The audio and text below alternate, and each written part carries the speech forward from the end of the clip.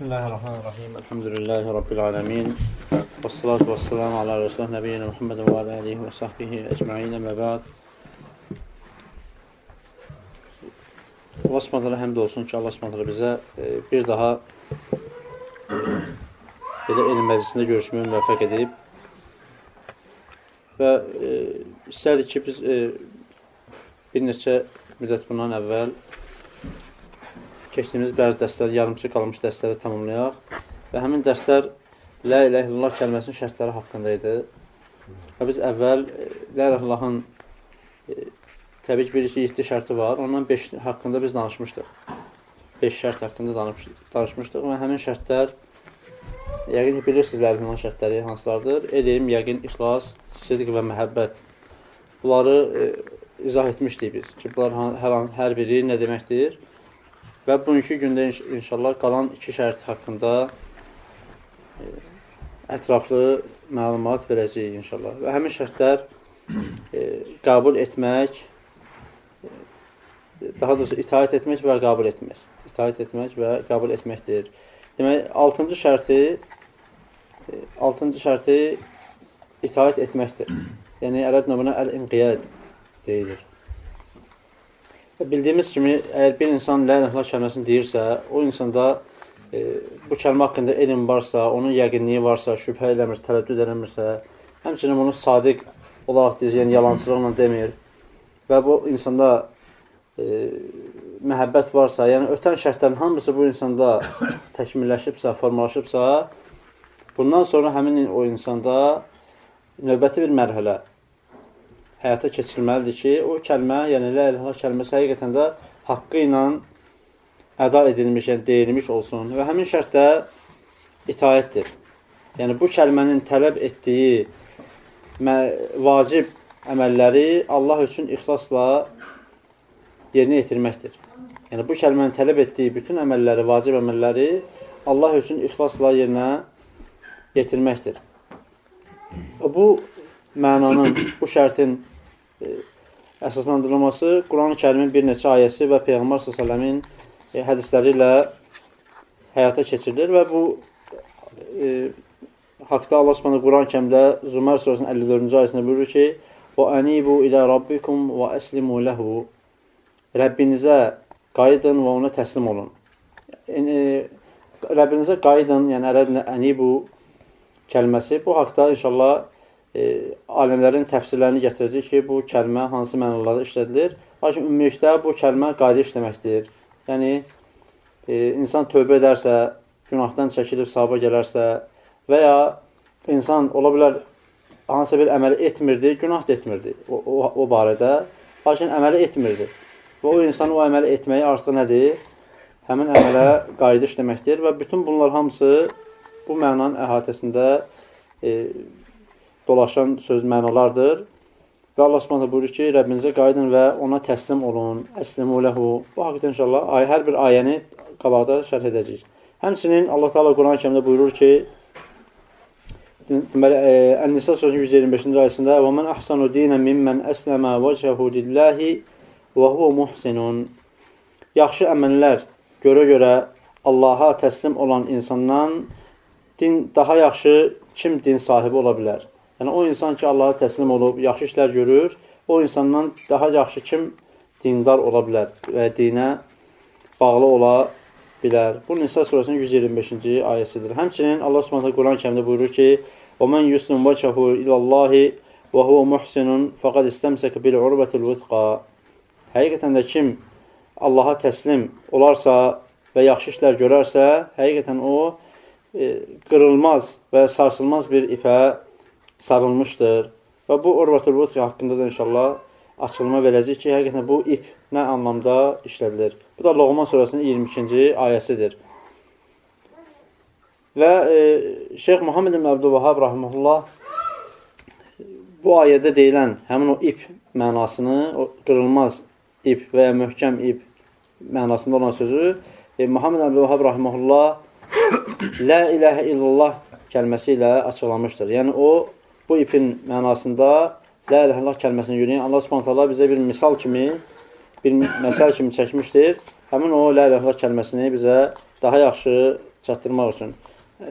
Və bu haqda başqa təfsirlər də var. İnşallah şərhdə qeyd olunacaq. Həmçinin başqa bir ayədə Allah Subhanahu buyurur ki: "Fələ və rabbikə la yu'minuna hatta yuhakkimuka fīmā şəcərə beynəhum, thumma la yacidu fi anfusihim haracan mimma qadayta və yusallimu təslimə." Bu Nisa surəsinin 65-ci ayəsidir. Allah Subhanahu bu ayədə buyurur ki: e, "Rəbbinə and olsun ki, onlar iman gətirməzlər ta o vaxta qədər ki, öz aralarında baş verən mübahisələrdə səni hakim təyin etməyincə və həmçinin eyni zamanda hakim təyin etməklə bərabər öz nəfslərində buna qarşı bir sıxıntı keçirmədikcə və buna tam təslim olmadıqca. Yəni, burada Allah s.ə. şərt qoydu ki, Peyğəmbər s.ə.v hakim olmalıdır və bu e, həmin o hökmə, Peyğəmbərin verdiyi hökmə və şəriyyətin verdiyi hökmə insan e, nəfsində sıxıntı duymamalıdır və bir də buna tam təslim olmalıdır. Bu Nisa surəsi 65-ci ayədir. Həmçinin hədisdə Peyğəmbər sallallahu əleyhi buyurur ki: "La yu'minu ahadukum hatta yakuna hawahu taban lima ji'tu bihi." Və e, Peyğəmbər buyurur ki, biriniz birinizin istəkləri, yəni nəfsi istəkləri mənim gətirdiyimə e, tam tabe olmayınca və uyğun olmayınca iman gətirmiş olmazsınız. Yəni, Peyğəmbər bu ki, hər bir insanın nəfsi istəkləri onun gətirdiyi şəriyyəti tabi olmalıdır. Demək, bu ayələr və bu hədis bütün bunlar bizə nəyi dikt edir? Bizə dikt edir ki, insanın etdiyi əməllər nə ilə olmalıdır? Tabeçiliklə. Yəni, insan öz əməllərini şəriyyətə tabi etməlidir. Və bu da lə iləhlə kəlməsinin e, altıncı şərtidir ki, insanın etdiyi bütün əməllər e, tabeçiliklə olmalıdır. Yəni, hər bir insan bu kəlməni həyata keçirmək istəsən, mütləq şəriətdə tabi olmalıdır. Ona görə e, bedət əhlinin dinində naqislik nədir?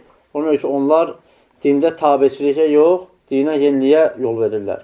Ona görə onların e, dinində naqislik, e, bax elə bu məqamdan başlamaqdadır. Əgər insanlar həqiqətən bunu dərk etsələr ki, onların etdiyi bütün dinə aid olan məsələlər hamısı şəriətə tabi olmalıdır, şəriətdən qaynaqlanmalıdır, onlar bidətə yol verməzlər. Həmçinin e, bu ayə və bu hədis, ayələr və hədis haqqında təbii ki, bunlar bilirsiniz ki, bunlar mətnindəndir. Şeyx Muhammed Əbdülvahabın La ilahlar kəlməsinin şərtləri haqqında yazdığı qısa məlumatlardandır və indi e, qarşıda biz hər bir ayəni və həmçinin hədis haqqında da ətraflı müzakirə aparacaq. Və demək, birinci ayə Zümər surəsinin 54-cü ayəsi Allah təala buyurur ki: "Və anibu ilə rabbikum" Rəbbinizə qayıdın.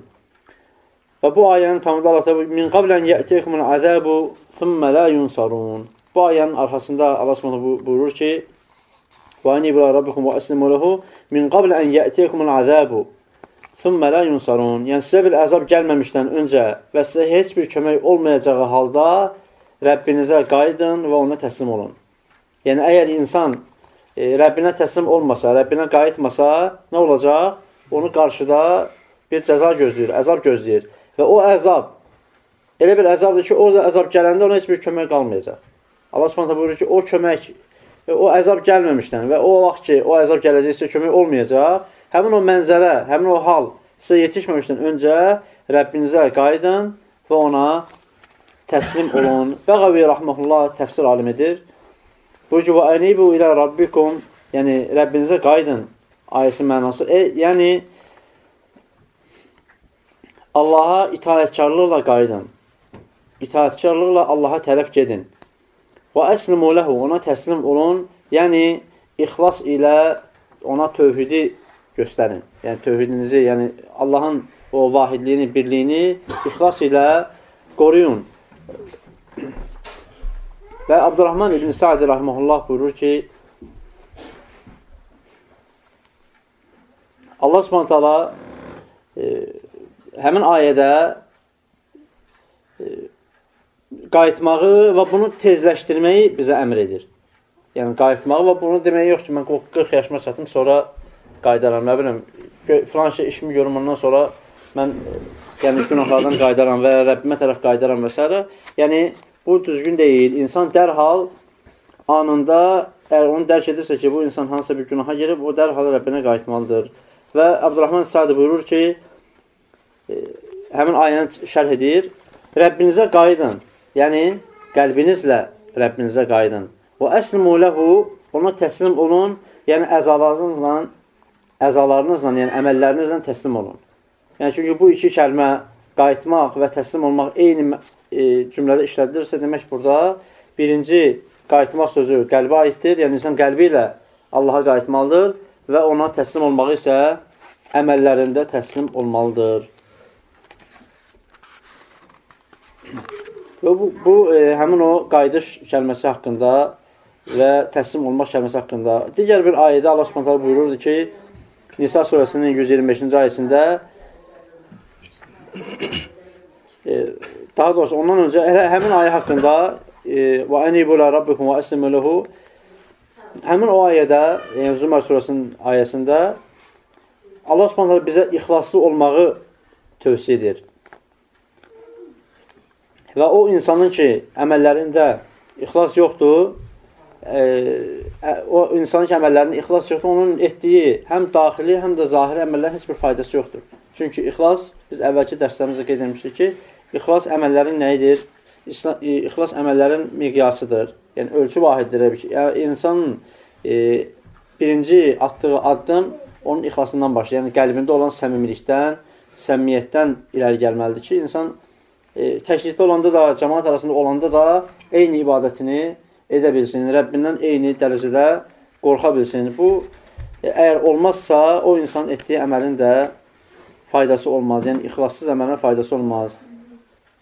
Allah Subhanahu Quran-ı Kərimdə e, başqa bir ayədə buyurur və həmin o ayə haqqında danışdığımız ayəni daha da açıqlayır. Allah Subhanahu buyurur ki: "Qul ya ibadiyellezine esrafu ala anfusihim La taqnatu min yaghfiru zunuba cemi'a. İnnehu huvel gafurur rahim. Allah Subhanahu taala e, insanları çağırır tövbəyə, e, ona qayıtmağa və ona təslim olmağa və xəbərdarlıq edir ki, qarşıda əzab var. O əzab gələndə sənə heç kömək eləməyəcək. Bunları xatırladır. Sonra Allah Subhanahu taala buyurur ki, ey bəndələrim, hansı bəndələr ki, öz nəfslərinə çox səhvənkar yanaşırlar və özlərinə çox zülm ediblər. Lə təqnatun min rəhmətillah. Allahın rəhmətindən ümidinizi üzməyin. Yəni, deməyin ki, mən artıq filan qədər günah eləmişəm və mən gör neçə yaş, 50 yaşa çatmışam. Hələ mən e, bu vaxta qədər Allah səcdə eləmişəm, bundan sonra Allah mənə bağışlayacaq, yəni.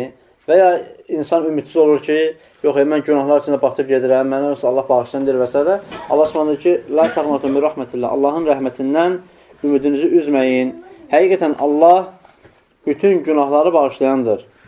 Həqiqətən Allah bağışlayan və rəhimlidir. Bu Zümar surəsinin 53-cü e, ayəsidir.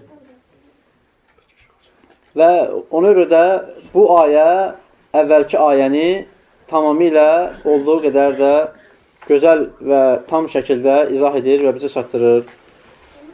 Və həmçinin başqa bir e, hədis var ki, o hədis bu deyilənləri də e, daha da bizə açıqlığı ilə çatdırır. Əbu Hüreyra radiyallahu anhu deyir ki, Peyğəmbər sallallahu buyurub ki, 6 hadisə olmadan öncə əməllərinizi tezləşdirin. Yəni 6 hadisə baş vermişdən öncə bacardığınız qədər e, salih əməlləri çox ödeyin.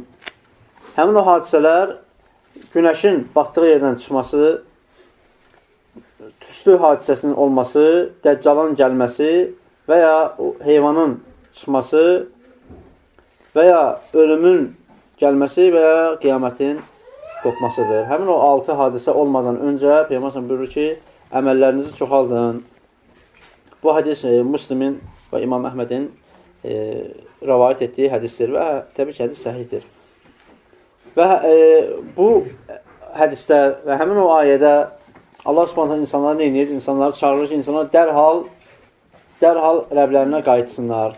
Allaha qayıtmaq nə deməkdir? Allaha qayıtmaq e, günahları tərk edib salih əməlləri işləməkdir və əməllərin də əsasında nə durur? İnsanın qəlbi, yəni ixlaslı olması, səmimi olmasıdır özü ilə Rəbbi arasında. Demək, e, həmin o ayədə deyilən o Rəbbinizə qayıdın. Əgər bir insan deyirsə ki, məsələn, ki, mən e, 5 gündən sonra və bir həftədən sonra və bir aydan sonra və 20 ildən sonra və 40 yaşından sonra yəni, filan namaz qılacağım və ya sahib iş görəcəm və s. və s. Bunlar nədir? Bunlar həmin o ayədən deyilən ənibu ilə Rabbikum, yəni Rəbbinizə qayıdın. o mənanı vermir. Yəni çünki əni bu söz ərəb dilində dərhal qayıdış deməkdir. Yəni anı bir vaxtda, təcili bir vaxtda insanın qayıtması deməkdir. Əgər o insan bunu etmirsə, demək ki, o Allah Subhanahu həmin ayənin arxasında dediyi o əzab gələn vaxt ki var, insan o əzaba yaxalanması çox e, yaxın olar. Və başqa ayədə Allah Subhanahu buyurur ki, həmin o dəlillərdən Nisa surəsi 125-ci ayəsi idi. Həmin ayədə Allah Subhanahu buyurur ki, "Və men əhsanu dinan mimmen əslama vəcəhu lillahi və hum muhsinun." Yaxşı əməl sahibi ola-ola özünü Allaha təslim edən insandan kim daha yaxşı din sahibi ola bilər? Yəni o insan ki, yaxşı əməllər, salih əməllər görür və Allaha təslim olur, həqiqətən də o insan dinini ən gözəl şəkildə yaşayan bir insandır. Həmin bu ayənin tamamında Allah Subhanahu buyurur ki, Nisa surəsinin 125-ci ayəsində Allah Subhanahu buyurur ki: "Və men əhsanu dinan mimmen əsləm vəcəhu lillahi və hum muhsinun və ittaba'a millətə İbrahimə hanifə "Vəttəxədəllahu İbrahimə xalilə." Allah Subhanahu buyurur ki, yəni həmin ayəsin arxasında buyurur ki, və o kəs İbrahimin hənif dininə tabe olar. "Vəttəxədəllahu İbrahimə xalilə." Və Allah da İbrahimi özünə dost götürmüşdür. Yəni o insan ki, Allah Subhanahu dediyi o salih əməllərlə təslim olar, Allah üçün yəni salih əməllər edərsə, o insandan yaxşı din sahibi olmaz. Və İbrahimin millətinə təslim olunlardan olar və İbrahim də Allahın özünə dost götürdüyü kimsələrdən idi. Yəni, o insanın getdiyi bu yol kim aparır? Aparır onu Rəbbinə tərəf ki, hansı ki, o yolla gedib İbrahim aleyhissalam Allahın dostu olmuşdur. Ona görə alimə deyirlər ki, dinində Allahı itaətində kim ki sözü ilə e, və əməlində İslam ilə ehsən arasında cəm edərsə ondan yaxşısı olmaz.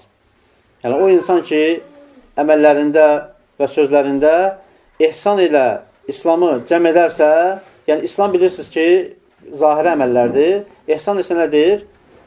Allaha elə ibadət edirsən ki, sanki sən onu görürsən. Sən onu görməsən də bilirsən ki, o səni görür. Yəni, insan elə bir ki, namaz qılanda namaz qılır. Onun adi namaz qılmağı nədir? Aleyküm, selam. 10 ayda namaz qılmağı İslamın e, bir əsasını, bir rükununu yerinə yetirməkdir. Və oruç tutur. Oruç tutmağı İslamın bir əsasını yerinə yetirməkdir. Və sədəqə verir. Bunun adi formada yerinə yetirilməsi İslamdır. Amma bu İslam ilə yanaşı ehsan olarsa, yəni ehsan dediyimiz kimi insan bir əmələ edəndə elə bir ki, Allahı görür. Amma Allahı görməsə də bilir ki, Allah onu görür. Yəni, əgər bir insan namaz qılırsa, namazında o hisslərlə yaşayır ki, mən indi Rəbbimə ibadət edirəm və Rəbbim məni görür Və elə bir ki, Rəbbini görürmüş kimi, yəni o cür müti, sakit, tərpənməz, yəni tam formada Allahın qabağında dayanmış kimi, elə bir ki, Allah ona baxır. Amma əslində Allah subhanətələ ona baxır, amma o ona Allahı görmür. Və bu hisslərlə insan ibadət edərsə və sədəqə verərsə, sədəqə verməzsə ki, verin başından olsun, çıxır gelsin, yox. Sədəqə verərsə, həqiqətən də o hisslərlə və orucu, ümumiyyətlə bütün əməlləri, İslam əməllərini o qayda yerinə yetirərsə, bu cür insandan daha yüksək mərtəbədə insanlar arasında yüksək mərtəbədə din sahibi, iman sahibi ola bilməz. İbn Kəsir rahmehullah İbn Kəsir rahmehullah buyurur ki, Allah Subhanahu günahlara görə cəza olacağını qeyd etdikdən sonra Allah Subhanahu bildirdi ki, hər bir edilən günahın bu dünyada cəzası vardır. Hər bir edilən günahın bu dünyada cəzası vardır və yaxud cəzası axirətdə vardır. İnsanın bu dünyada cəza çəkməyi daha yüngüldür, nəinki onun axirətdə cəza çəkməsi. Çünki həmin o məna, o ayənin, ayələrin daha doğrusu ardıcılığından götürülür. Çünki Allah spontala vəd edir ki, kim e, insanlardan e, yəni deyilən yola gəlməsə, onu artıq nə gözləyir qarşıda? Onu qarşıda bir cəza gözləyir. Həmin o cəza İbn Kəsir rəhməhullah buyurur ki, ya dünyada ya da axirətdədir. dünyada olmağı daha yaxşıdır. İnsan üçün ahirətdə olmağı isə Allah hər birimizi o e, cəzadan qorusun. Və Allah subhanətələ insanların bağışlamağı üçün İbn Kəsir buyurur ki, Allah subhanətələ insanlara bağışlamağı üçün və onların salih əməllərinin qəbul olması üçün şərt olaraq imanı qoymuşdur. Yəni, iman insanın əməllərinin qəbul olması üçün şərtdir. Və əgər kimin imanı olarsa, Allah da onu cənnətə daxil edər və onların etdiyi yaxşı əməllərdən heç bir şeyi e, mənimsəməz. Yəni, nə insan edibsə yaxşı əməllər, Allah s.ə. onların hamısını ona qaytarar artırlaması ilə. Yəni, insan min, min e, dərəcəli savab görübsə, Allah s.ə. onun 800-ünü verib 200-ünü saxlamaz. Minin ona artırlaması ilə e, necə lazımsa Allah s.ə. onu o cür ödəyər. Hətta e, ayədə o deyilən e, sözdür. Allah Subhanahu ki, hətta xurma qabığının üzərindəki o qabıq, xurma dənəsinin üzərindəki o qabıq ki var, hamımız xurma yeyirik də. Dənənin üstündə qabıq var, düzdür, şəffaf belə bir qabıq var. Hətta və la yudlamuna naqira Allah Subhanahu ki, hətta onlar və o xurma dənəsinin üzərindəki qabıq qədər belə onlara zülm olunmaz. Yəni haqsızlıq olunmaz. Yəni onların əməlləri e, onlara o hətta o cür dəqiqliklə əvəzi verirlər. Və Allah Subhanahu həmin o ayədə e, dediyi: "Və men əhsanu dinan mimmen əslama vəchahu lillah" yəni üz, e, üzünü Allaha təslim edən insan, yəni Allaha tam təslim olan insan sözünün mənası ayədə bu e, insanın e, Allah üçün ixlaslı olması mənasındadır. Yəni bir insan bir əməl edirsə, onu həm imanla, həm də savabını Allahdan ummaqla. Yəni insan əgər oruç tutursa, Oruç tutmamalıdır ki, axşam mənə qonaq çağırırlar, qonaqlığa gedəcəm, ayıbdır, oruç tutmasan. Və ya insan, məsələn, deyir, yox, ayıbdır. Bütün hamı, məsələn, tutaq ki, filan şey deyir, mən də qoyub filan şey deyim ki, e, yəni bu cür şeylə yox. Ki, insan eləməlidir əməlini ixlasla, yəni iman olmalıdır və bir də savabını Allahdan istəmək üçün. Yəni, nədənsə utanıb nədənsə çəkinib yox. İnsan, e, bu elə bir ki, imanın dərəcələrindəndir. Düz onu həya eləməyi, o da imandandır utanırsa, kimlərsə əməl edirsə, bu da həyadır, həya da imandandır. Lakin biz yüksək məqamdan danışırıq ki, insanın o e, kamilliyə doğru getməyi, imandan daha da kamilləşdirməsi üçün çalışması, bax, onu insan istəyirsə, o insan imanı ilə bərabər o ehtisəb, yəni Allahdan savını ummaq e, hisslərini də bərabər tutmalıdır. Və həmçinin e, ayədə ki, vəhu muhsinun və o yaxşı iş görənlərdən olar, yəni yaxşı əməl sahibi olar. Yəni, yaxşı əməl sahibi nədir? Şəriətdə yaxşı əməl sahibi, şəriətdə yaxşı əməl sahibi e, Allahın və Peyğəmbərinin gətirdiyi e, şəriət ilə gedməsidir. Yəni, ona tabi olmasıdır. O insan ki, şəriətə tabi olmur, o heç vaxt yaxşı əməl sahibi ola bilməz və ya Peyğəmbərin sallallahu aleyhi ve səlləmin əmirlərinə itaat etməzsə, o heç vaxt yaxşı əməl sahibi ola bilməz. Ona görə ayədə deyilən yaxşı əməl sahibi nədir? Bizim danışdığımız o itaət sözünün tələb etdiyi bir mənadır. Yəni, e, ləl-əhlahın şərtlərindən ki, itaət etmək e, var. Həmin o itaət, bax, e, bu anlamdadır. Ona görə Allah taala e, həmin ayənin arxasında müəllifin gətirdiyi həmin o hissədən sonra "Vattabi'a millətə İbrahim hanifə" və həmin o insan kim ki bu xüsusiyyətlərlə, haqqında danışdığımız xüsusiyyətlərlə, yəni ixlasla və itayətlə Allaha tərəf gedərsə, "Vattabi'a millətə İbrahim hanifə" və o İbrahimin e, hənif dininə tabe olar. Və həmin o İbrahimin hənif dininə tabi olanlar kimlərdir? Onlar Peyğəmbər sallallahu əleyhi və səlləm və ona itaat edənlərdir ta qiyamətə qədər. Yəni Peyğəmbər sallallahu əleyhi və səlləm və onun ümmətidir. Həmin o ayədə deyir ki: "Vattəbə milləti İbrahim hənifə." O İbrahimin hənif milləti, yəni hənif dini, o dinin daşıyıcıları kimlərdir? Onlar Muhammed sallallahu əleyhi və səlləm və onun ümmətidir ta qiyamətə qədər. Allah Teala buyurur ki, Quran-Kərimdə İnna ulen-nasi bi İbrahimə lellezine ittebauhu və hadzan-nabiyyu. İbrahimə daha yaxın olan kimsələr kimlərdir? Onlar ona itaat edənlərdir. Və bu peyğəmbərdir. Yəni bu peyğəmbər kimdir? Muhammed sallallahu aleyhi və səlləmdir. Bu Əl-İmran surəsi 68-ci ayədir. Və həmçinin bu ayədə o bugünkü gündə özlərini peyğəmbər iddia edən insanlara da e, yəni bir növ cavab vardır ki, Allah Subhanahu burada e, məhz bu peyğəmbərdən danışır. Hansı ki, Quran nazil olub o peyğəmbərdən Allah Subhanahu danışır. Burada e, peyğəmbərlərdən gələcək peyğəmbərlərdən, o dırnaqarası peyğəmbərlərdən danışılmır. Burada sırf Muhammed peyğəmbərdən sallallahu əleyhi və səlləm danışır. Həmçinin Allah Subhanahu Quran-ı Kərimdə başqa yerdə buyurur ki: "Thumma uhayna ilayka an ittabi' millata İbrahim hanifa və ma kana minal müşrikin." Və biz sənə vəhy etdik ki, sən İbrahimin hənif dininə tabe ol və o İbrahim müşriklərdən deyildi. Yəni İbrahimin hənif dini nədir?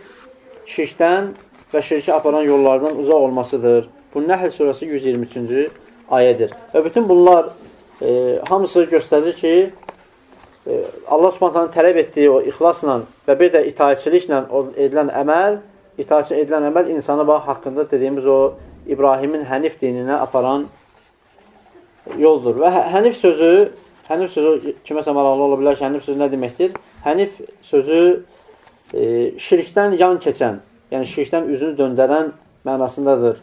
Yəni şirkdən üz döndərib Allaha, Allahın vahidinə tərəf gedən e, yoldur.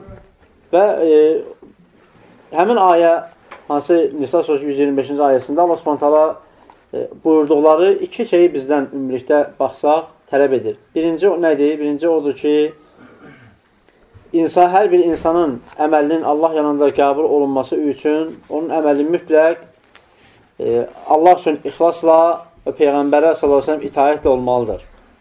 Yəni, ixlas və itayət. Yəni, əgər bir insan deyir ki, mən Allah üçün edirəm, lakin onun əməlində onun əməlində Peyğəmbərə tabiciliyi yoxdursa, məsələn, kimsə deyir ki, mən Peyğəmbər üçün ad günü keçirdirəm. Ümmətin Peyğəmbəridir, mən onu sevirəm, istəyirəm ki, e, onun e, yolunda nəsə edim və onun dinin üçün nəsə edim ki, Allaha yaxınlaşım və s. və s. iddialarla. Onlar mən deyir ki, mən Peyğəmbər üçün mövlud keçirirəm, yəni ad günü keçirdirəm. Biz bu əmələ necə baxmalıyıq? Biz bu əmələ baxırıq iki miqyasdan. Birinci, Allah üçün ixlas. Ola bilər o mövlud keçirməyində ixlas var. Yəni, həqiqətən sidq ürəklə Allah üçün eləməyə çalışır. Amma ikinci şərt yoxdur. O da nədir? O da itaətçilikdir. Yəni, Peyğəmbərin gətirdiyi şəriətə müvafiq olmasıdır. Və bu da, bu uyğunluq, bu müvafiq olma elə lə ilə illallah kəlməsinin şərtidir. Yəni, əgər bir insanın əməlində ixlas varsa, itaətkarlıq yoxdursa və itaətkarlıq var, Amma ixlas yoxdursa, o əməl keçərli olmaz. Çünki e, haqqında danışdığımız ayə bunu bizdən tələb edir. İkinci məsələ isə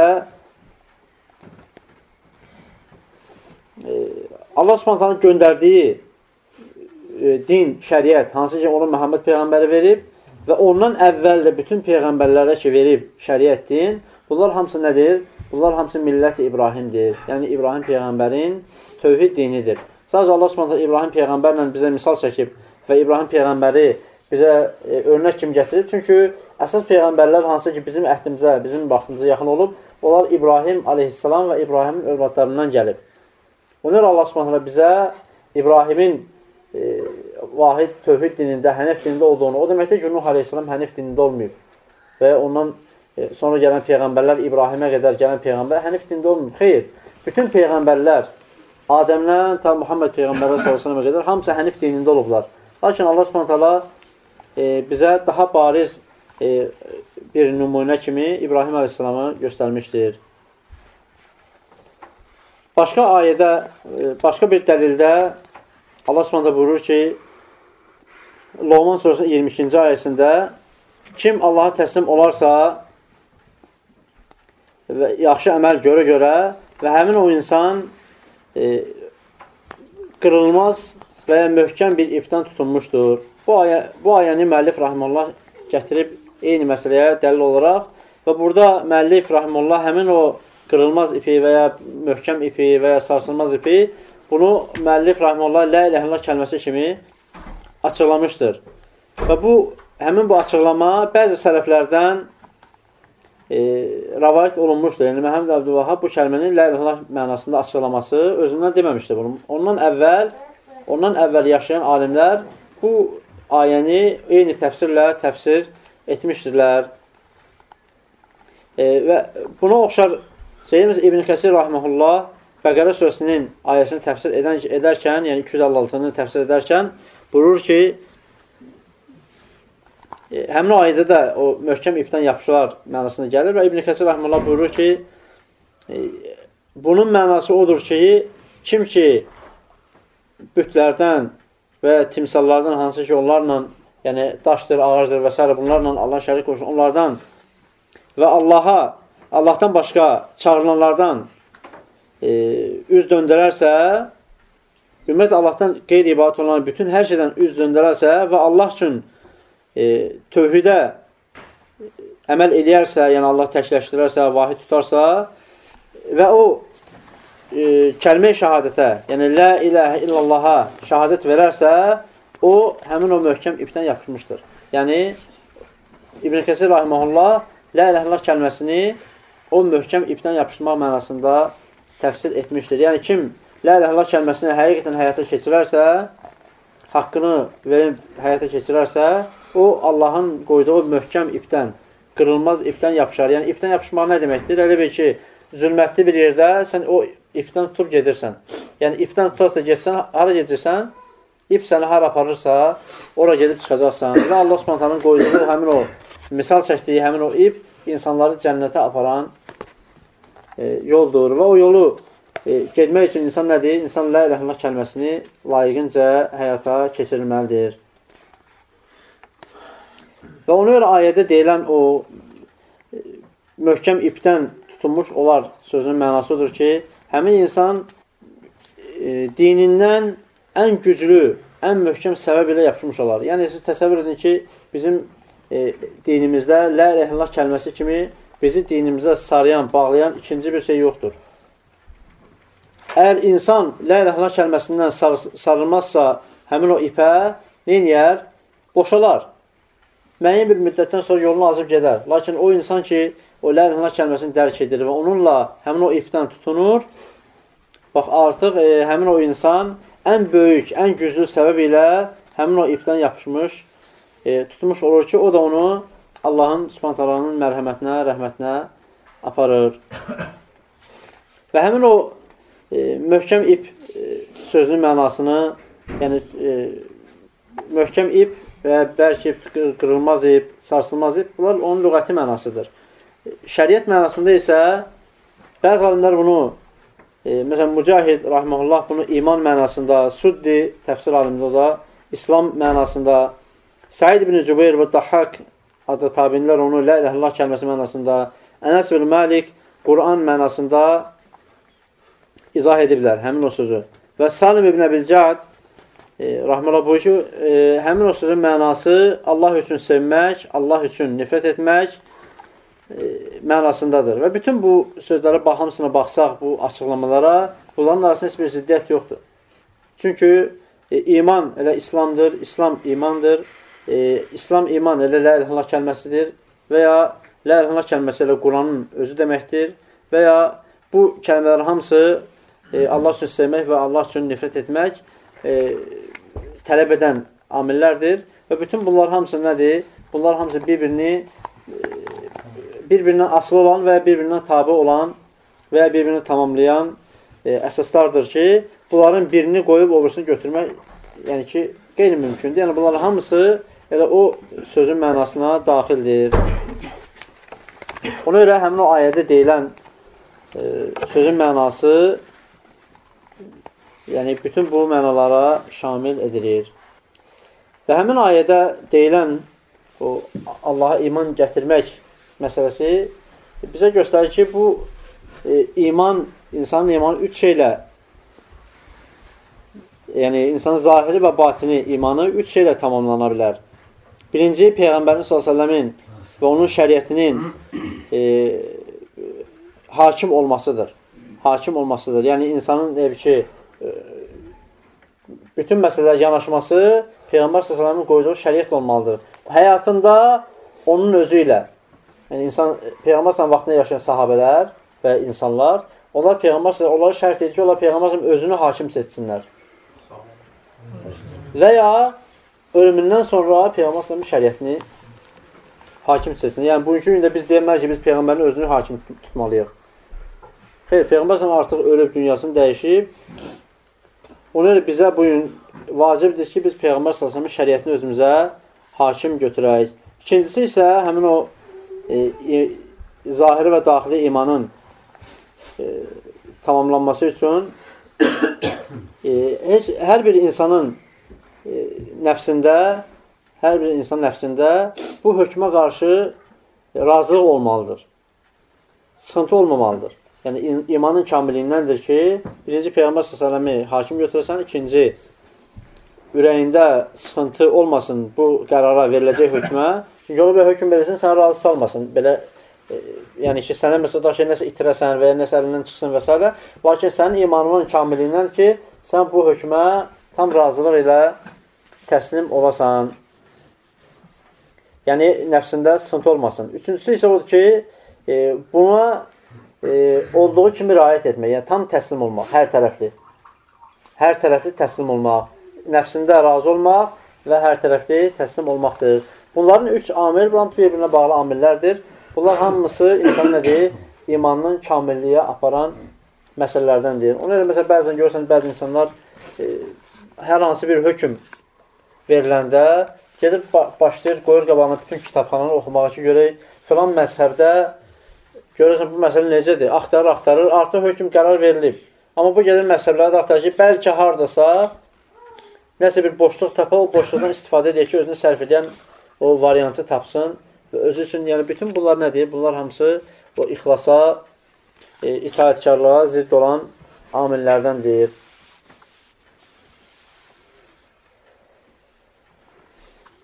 Buxarədə rəvayət olunan təfsir kitabında Urvat ibn Zübeydən radiyallahu anh olan e, rəvayət olunur ki, E, həmin o rəvayət, daha doğrusu bu hədisi, e, bu e, həmin o rəvayət e, haqqında danışdığımız ayəni açıqlayır. Yəni o Peyğəmbər s.ə.və itaat etmə hökmü ilə razı olma məsələsini açıqlayır. Və həmin e, hədisdə deyilir ki, e, Zubeyr radiyallahu anh ilə bir nəfər ənsarlardan, yəni Mədinə cəmatından bir nəfər e, mübahisə edirlər. Demək, mübahisə e, axan o arxın arxa görə idi, yəni ki, bostanlar idi, bağlar idi və oradan arx axırdı. Arx axa-axa təbii ki, su hündür yerdən aşağı axırdı. Və Zübeyir radiyallahu bostanı birinci idi, həmin o mübahisədən, o Mədinəlinin bostanı ikinci idi. Yəni su birinci keçirdi Zübeyrin bostanından, sonra gəldi bu buru bostana, ikinci bostana. Təbii ki, onların arasında mübahisə olur bu su məsələsinə görə ki, kim birinci sulamalıdır. Peyğəmbər s.ə.v yanına gəlirlər və Peyğəmbər s.ə.v deyir ki, Zübeyrə deyir ki, ey Zübeyr, sən birinci bostanını sula, sonra suyu göndər e, qonşuya, o sulasın. Yəni suyun e, ayır ləklərdən geçsin o bir qonşunun bağına, o da sulasın. Həmin o Mədinəli e, dedi ki, ey Allahın şey, elçisi, Yəni İbn e, Zübeyr İbn Avam sənin əmin oğlundur deyə, yəni sənin eyni qəbilədəndir və sənin əmoğlu hesab olunur. Ona görə sən belə hökm verirsən. Yəni birinci Zübeyr sorulsun, sonra soruyum. Və bu vaxtda Peyğəmbər səlləmin e, üzünün rəngi dəyişdi. Yəni Peyğəmbər sallallahu təsir elədi bu söz. Və Peyğəmbər səlləm buyurur ki, ey Zübeyr, e, bostanını sula. Sonra suyun qabağını kəs bütün bostanğa su yayılır, torpaq şişənə qədər, hansı ki ayağı qoyursan, artıq ayağın o da palçığa batır. Yəni bütün bostan şişənə qədər. Suyun qabağını kəs, ondan sonra suyun qabağını az geçsin qonşuya. Və Peyğəmbər s.ə.v e, e, birinci hökmündə göstərdi ki, ey versən, sula, yəni ki, yüngülvarı sula, ağaclar sulansın və nə varsa bostanda sulansın. Sonra göndər Yəni sənin ki, haqqının 50%-dən istifadə elə, göndər o da istifadə eləsin. Yəni çünki şəriətə görə kimin bostanı birincidirsə, o suyu tam istifadə etmək haqqındadır. Yəni məsələn ki, Peyğəmbər dediyi kimi ki, qabağın kəs, bostan tam şişsin. Yəni bu onun haqqıdır. Bu onun 100% haqqıdır. Amma təkcə o bitkiləri, ağacları sulamaq isə onun ki 100% haqqından ki 50%-idir. Birinci hökmdə Peyğəmbər sallallahu buyurdu ki 50% nədir? Yəni ki o qonşuya da mərhəmətin olsun, yazığın gəlsin. Biraz sula, gördün ki hamısı sulandı, sonra suyun qabağını aç qoy yesin qonşuya. O da istifadə etsin. Amma o o hökmdən razı olmadığına görə Peyğəmbər sallallahu müzəvvər edir ki, onda sən haqqından 100% istifadə elə. Yəni suyu aç, qoy borsan tam sulansın. Hətta torpaq tam şirələnsin, sonra e, aç getsin qonşuya. Yəni ki, haqqından 100% istifadə et. Bu da onun nə idi? Həmin o e, Mədinəli e, bəzi rəvayətlərə görə həmin o münafiqlərdən idi o insan. Onun cəzası idi. Və Zübeyr radiyallahu anh deyir ki, e, bu ayə Fəraq və Rabbəkə lə yumunə, yəni Rəbbinə and olsun ki, onlar iman gətirməzlər, hətta səni öz Allahında hakim tutmayınca. Yəni bu ayə, həmin o ayə e, bu hadisə haqqında nazil olmuşdur. Yəni həmin o Mədinəli o insan ki var idi, Peyğəmbər sən hökmündən narazılıq etdi və etiraz etdi ki, bu sənin əmin oğludur. Ona görə sən belə hökm verirsən. Və buna görə e, Zübeyr radiyallahu deyir ki, həmin ayənin nazil olmaq səbəbi də bu hadisə edir.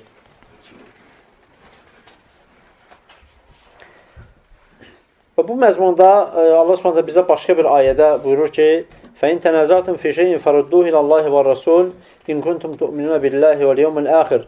Zalika xeyrun və ahsanu ta'wila." Bu Nisa surəsi 59-cu ayədən Allah Taala buyurur ki, e, əgər bir şeydə ixtilaf etsəniz və mübahisə etsəniz, onu Allaha və peyğəmbərə qaytarın. Yəni Allaha, Allahın kitabına və peyğəmbərə, peyğəmbərin şəriətinə mənasındadır. İn kuntum tu'minuna billahi vel yevmil axir. Əgər Allaha və axirət gününə iman gətirirsinizsə belə edin. Zəlikə xeyrun və əhsanu təvilə. Bu həqiqətən də xeyirdir və ən gözəl e, məsələnin e, çıxış yoludur, yozumudur. Nisa surə 59-cu. Bu ayə də əvvəlki ayəyə e, mənaca, eyni mənada dəstək verir. Şeyx Abdurrahman İbn Sa'd rəhməhullah buyurur ki, e, həmin bu ayə haqqında buyurur ki, e, insanların ixtilaf etdiyi hər bir məsələdə, yəni dini məsələlərdə, istər e, əsas məsələlər, yəni əqidə məsələləri olsun və ya istər e, fiqhi məsələlər olsun, onların qayıdışı, müraciəti Allaha və Peyğəmbərinə olmalıdır. Yəni Allahın kitabına və Peyğəmbərin sallallahu aleyhi və səlləmin sünnəsinə. Çünki bu iki qayıdışda hər bir məsələnin, e, ümumiyyətlə bütün məsələlərin müzakirəsi və həlli yolu bu iki yoldadır. Çünki e, Allah Subhanahu göndərdiyi şəriət həm kitab, həm Peyğəmbərin sallallahu əleyhi və səlləm sünnəsi bu onlar hər bir sahəni, hər bir e, məsələni əhatə etmək və oradan bir çıxış yolu götürmək e, diktə edən bir əsaslardır. Niyə görə bizə şəriətə qayıtmaq, yəni Allaha və onun Peyğəmbərinə müraciət etmək tələb olunur? Çünki e, bu iki əsas, yəni Allaha və onun Peyğəmbərinə iman məsələləri və onlara təslim olmaq, tabi olmaq, onlar dinin əsaslarıdır. Yəni, bu iki şey dinin əsasıdır. Onlarsız e, heç bir iman, heç bir İslam həyata keçirilə bilməz. Çünki onlar e, ki, evin fundament olduğu kimi onlar da insanın dininin əsasıdır. Ona görə Allah, Allah subhanətə şərt qoyur qayıtmağa Allaha və Peyğəmbərə in kuntum tu'minuna billahi və yevmil axir. Allaha və axirət gününə iman gətirirsinizsə. Yəni, əgər e, iman gətirirsinizsə, belə edin. İman gətirmirsinizsə, onda öz bildiyinizi edə bilərsiniz. Yəni, onun əks məfhumu budur. Və öz bildiyini eləyən də cəzasını da Allah spontala e, bir çox e, yerlərdə bizə bildirmişdir. Ayələrdən götürən, e, yəni mətndə deyilən ayə və onun mənasını o ayələrdə Allah spontala bizə buyurur ki, birinci, eyni mənada olan ayələrdir ki, birinci bizə ixlaslı olmağı yəni təkcə əməli Allah üçün etməkdir, sırf Allah üçün etməkdir və Peyğəmbər sallallahu əleyhi və səlləmə tabe olmaqdır. İkincisi isə Allahın və Peyğəmbərinin hökmünə zahirdə və batində, yəni həm zahiri əməllərdə, həm daxili e, məsələlərdə, bütün bunlarda e, Allaha və Rasuluna təslim olmaq e, şərtdir. başqa bir dəlil isə, e, demək ki, ayələr haqqında bu qədər. Başqa e, dəlil isə müəllifin gətirdiyi hədisdir. La yu'minu ahadukum hatta yakuna hawahu taban lima ji'tu bihi. Yəni bir kəsin nəfsi istəkləri mənim gətirdiyimə uyğun olmadıqca o insan iman gətirməz.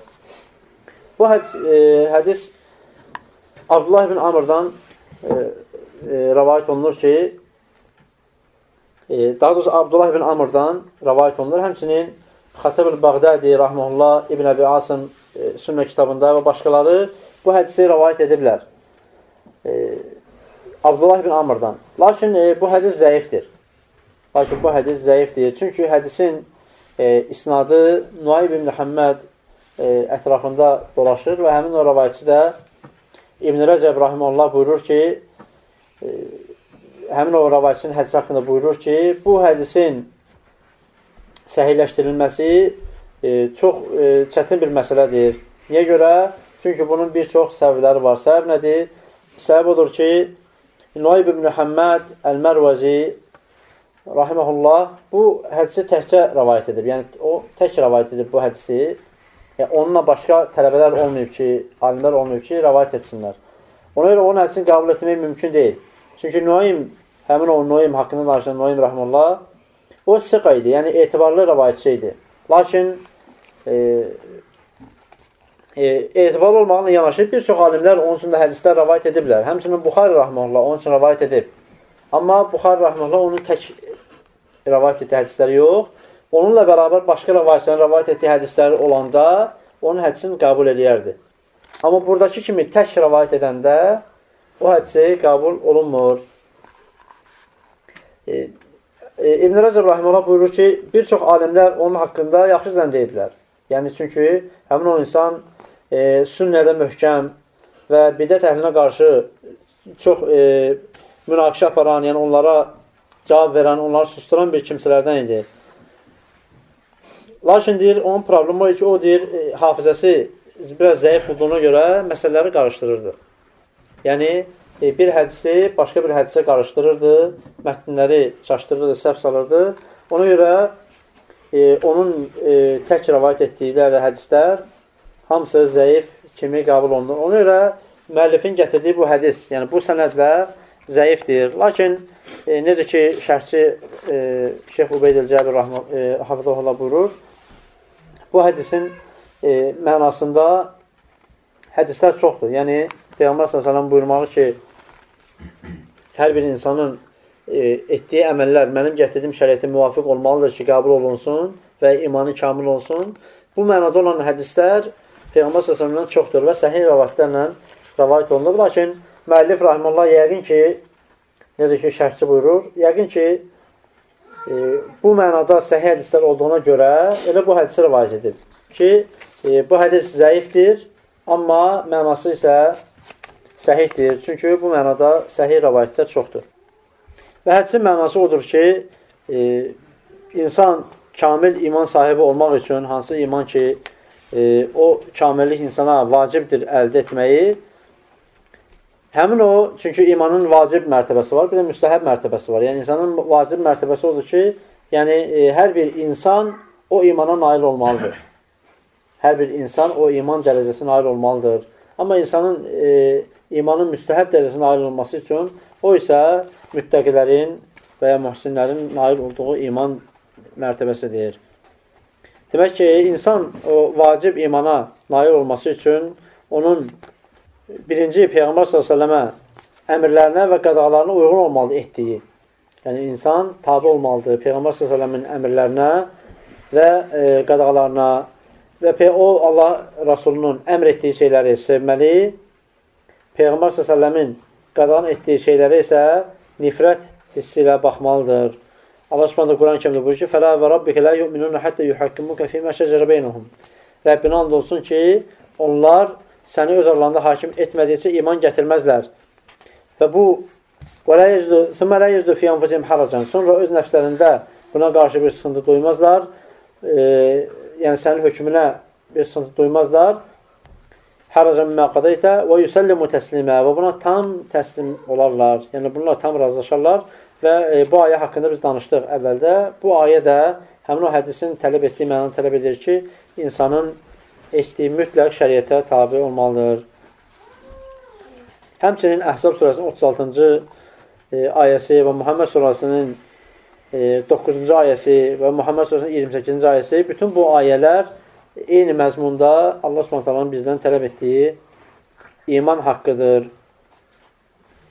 Ona görə hər bir möminə vacibdir ki, Allahın sevdiyini sevsin və e, Allahın e, nifrət etdiyi və Allahın qadan etdiyi hər bir şeyə o da nifrət etsin və ondan çəkinsin. Buxar və Müslimdə bu mənada hədis rəvayət olunur ki, Peyğəmbər sallallahu buyurur ki: "La yuminu ahadukum hatta akuna ahabba ilayhi min nafsihi və waladihi və ahlihi və nas ecmaîn." E, mən sizə e, e, öz nəfsinizdən, övladından, ailəsindən və bütün insanlardan sevimli olmadıqca həmin o insan iman gətirməz. Yəni kiməsə Peyğəmbər s.ə.v öz nəfsindən, malından, ailəsindən və bütün insanlardan sevimli olmazsa, o insan e, Peyğəmbər s.ə.və tam kamil şəkildə iman gətirə bilməz. Və e, təbii ki, burada sevmək nə deməkdir? Təhcə iddia deyil. Sevmək iddia deyil. Yəni, iddia demək ki, mən Məhəmməd Peyğəmbəri s.ə.v sevirəm. Sevməyin e, isbatı nədir? Sevməyin isbatı onu əməldə izhar etməkdir. Danışdığımız bütün bu ayələr və bütün bu hədislər bizə e, tələb edir ki, e, biz öz əməllərimizi şəriətə uyğun, yəni şəriətə itaatkarlıqla yerinə yetirək. Əgər o insan ki, şəriətə uyğun deyil onun əməli, şəriət onu ondan qəbul etmir. Hətta la ilahla kəlməsinin e, digər şərtlərini yerinə yetirsə belə, əgər o itaatkarlıqda nöqsana yol verəcəksə, onun imanının əsasında nöqsan olacaqdır. Demək ki, 6-cı şərt